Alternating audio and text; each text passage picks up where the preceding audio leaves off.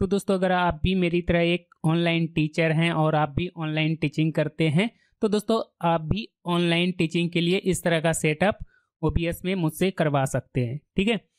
और यहाँ पे दोस्तों, मैं आपको बताना चाहूँगा, यहाँ पे हमने जो है कुछ इस तरह से भी सेटअप किया हुआ है, यानी कि जैसा कि दोस्तों, अभी आप यहाँ पे मेरी स्क्रीन देख रहे हैं और मेरा फेस देख रहे हैं तो दोस्तों, इस तरह की चीज़ें हमने ओबीएस में ही सेटिंग किया हुआ है। ये सारी चीज़ें करने में थोड़ा सा टाइम लगता है। अगर मैं इस पर डिटेल में वीडियो बनाऊँगा तो दोस्तों वीडियो बहुत ही लंबा हो जाएगा। इसलिए दोस्तों मैं थोड़ा थोड़ा करके ये सारी चीज़ें आगे मैं आपको सिखाऊँगा, ठीक है?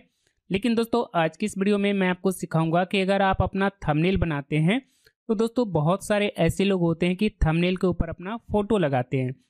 लेकिन प्रॉब्लम ये आता है कि हमारा जो फ़ोटो होता है, उसमें जो है बैकग्राउंड है, वो हम रिमूव नहीं कर पाते हैं, ठीक है? फ़ोटो का जो बैकग्राउंड है, वो हम रिमूव करना नहीं जानते हैं।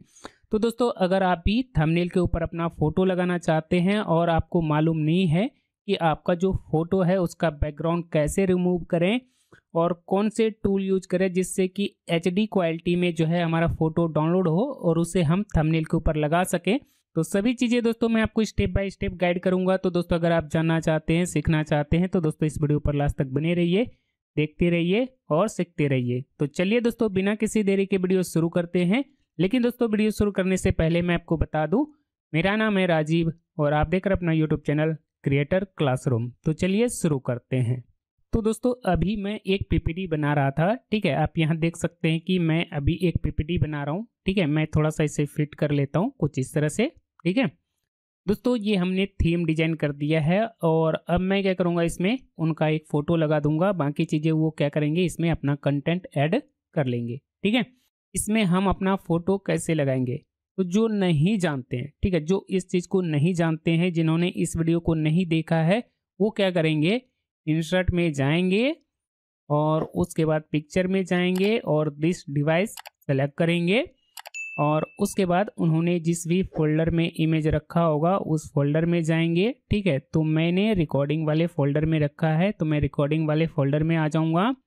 अब जैसे कि दोस्तों मुझे ये इमेज लगानी है तो मैं इसे सेलेक्ट करूँगा और यहाँ से मैं इंसर्ट कर दूँगा।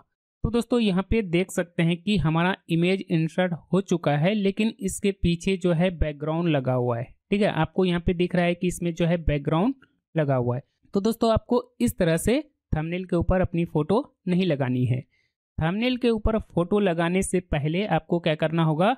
आपका जो इमेज है, आपका जो फ़ोटो है, उसका बैकग्राउंड रिमूव करना पड़ेगा। ठीक है? दोस्तों, मैं आपको बताना चाहूँगा कि मैं बार बार इधर इसलिए देख रहा हूँ क्योंकि हमारा जो, ठीक है, हमारा जो वेव कैम है, वो यहाँ है। इसलिए दोस्तों, ये थोड़ा सा साइड में है, इसलिए दोस्तों, मुझे थोड़ा सा इधर जो है देखना पड़ रहा है। ठीक है? तो चलिए, ये सारी चीज़ें भी बताना ज़रूरी होता है अपने ऑडियंस को, है ना? चलिए, बता दिया। तो दोस्तों, अब हमें क्या करना है? यहाँ अपना फ़ोटो लगाना है। तो दोस्तों फ़ोटो लगाने के लिए हम लोग क्या करेंगे? पहले तो इसे मिनिमाइज करेंगे, यानी कि इस काम को पहले बंद करेंगे। उसके बाद दोस्तों, अब हम लोग क्या करेंगे? अपने लैपटॉप या कंप्यूटर में गूगल क्रोम ओपन करेंगे। जिस वेबसाइट के बारे में आप जानते हैं, वो मैं नहीं बता रहा हूँ। मैं दोस्तों आपको कुछ ऐसी वेबसाइट बताऊँगा, जहाँ से दोस्तों आप HD क्वालिटी में डाउनलोड कर पाएँगे। ठीक है? और यहाँ से दोस्तों, आप और भी चीज़ें कर सकते हैं। ठीक है? तो दोस्तों, वीडियो पर लास्ट तक बने रहिए। गूगल ओपन कर लेना है और गूगल ओपन करने के बाद आपको यहाँ टाइप करना है एडोबी फायरफ्लाई बैकग्राउंड रिमूवर ठीक है? तो ये चीज़ें लिख करके दोस्तों आपको गूगल में सर्च कर लेना है तो दोस्तों ये वेबसाइट आपको मिल जाएगा। दोस्तों, इसका लिंक आपको इस वीडियो के डिस्क्रिप्शन में भी मिल जाएगा। तो दोस्तों, लिंक पे क्लिक करके डायरेक्ट आप इस वेबसाइट पे आ सकते हैं। ठीक है? तो दोस्तों, आप लिंक पे क्लिक करके इस वेबसाइट पर आ सकते हैं। इस वेबसाइट पर आने के बाद दोस्तों, इसका इंटरफेस कुछ इस तरह से आपको दिखेगा। उसके बाद दोस्तों, आपको क्या करना है? यहाँ पे देखिए लिखा हुआ है अपलोड योर फ़ोटोज़ ठीक है अपलोड योर फ़ोटोज़ तो दोस्तों, आपको यहाँ क्लिक कर लेना है। यहाँ क्लिक करने के बाद आपके सामने जो है इंटरफेस कुछ इस तरह से आ जाएगा। थोड़ा सा दोस्तों वेट करते हैं। इस तरह से दोस्तों, आपके सामने ये इंटरफेस आ जाएगा। ठीक है तो दोस्तों, जब आपके सामने ये इंटरफेस आ जाएगा, ठीक है, जब आपके सामने ये इंटरफेस आ जाएगा, उसके बाद दोस्तों आपको क्या करना है, इस इंटरफेस को, ठीक है, उसके बाद आपको क्या करना है, इस इंटरफेस को आपको हमेशा हमेशा के लिए डेस्कटॉप के ऊपर सेव करके रख लेना है, ठीक है, ताकि आपको बार बार गूगल ना करना पड़े, ठीक है। देखिए, अगर आप छोटे छोटे कामों को करने के लिए समय बचाएँगे तो दोस्तों आपका बहुत सारा समय बचेगा। इसलिए दोस्तों आपको क्या करना है, इस इंटरफेस को आपको क्या करना है, डेस्कटॉप के ऊपर सेव कर लेना है। उसके लिए आपको क्या करना होगा, यहाँ पे दोस्तों थ्री डॉट दिया गया है, आपको थ्री डॉट के ऊपर क्लिक करना है।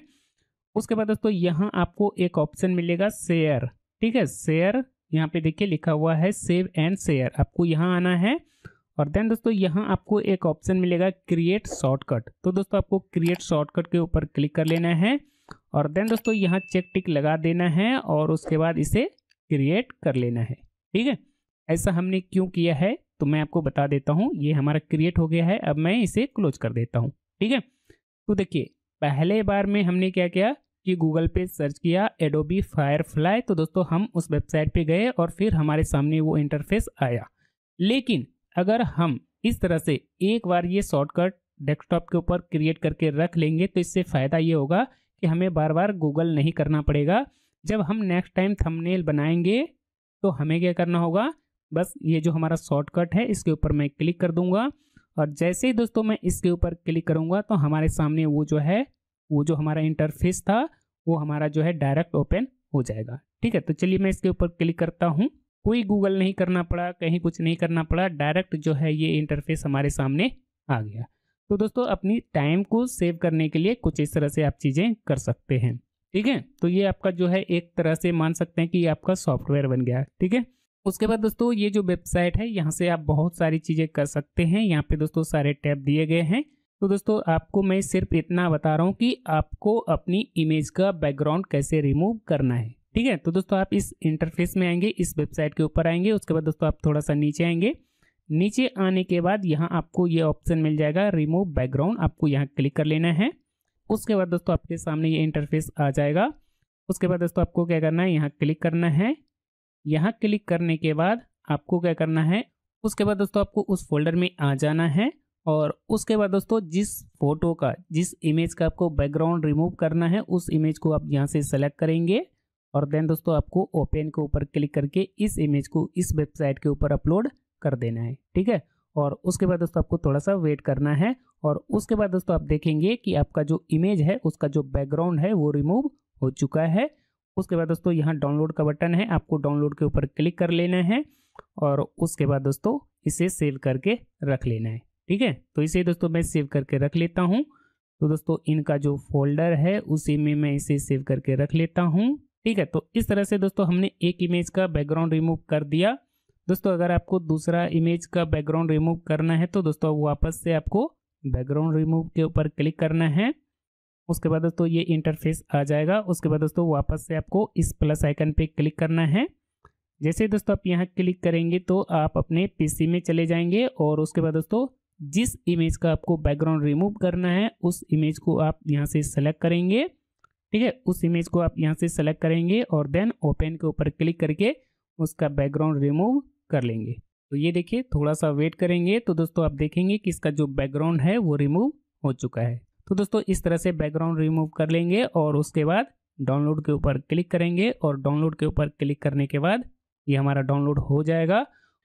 चलिए तो दोस्तों इसे मैं डेस्कटॉप पर सेव करके रख लेता हूँ। ठीक है? चलिए तो दोस्तों ये हमने सेव कर दिया। तो दोस्तों इस तरह से आप जो है इमेज का बैकग्राउंड रिमूव कर सकते हैं। ठीक है? अगर आप फोटोशॉप में थंबनेल बनाते हैं तो दोस्तों इसे फोटोशॉप में इंसर्ट करवा सकते हैं। अगर आप पीपीटी में अपना थंबनेल बनाते हैं तो उसमें दोस्तों आप अपना इमेज इंसर्ट करवा सकते हैं।